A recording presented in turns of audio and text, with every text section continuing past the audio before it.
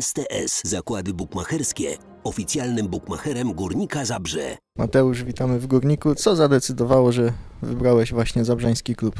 Na pewno chciałbym się nadal e, rozwijać i e, po rozmowach e, warszawskiej Legii z trenerem Jackiem Magierą zdecydowaliśmy, że dla mnie najlepsze będzie e, jak będę regularnie grał. Legii tego bym na pewno nie miał, tak mi trener szczerze powiedział i dlatego zdecydowałem się na Górnik. Widzę fajną perspektywę dla mnie, dla młodego zawodnika, który chce grać i, i myślę, że walczy sobie miejsce w składzie i będę się cieszył ze zdobytych punktów z Górnikiem. Trener Brosz słynie ze stawiania na młodych zawodników.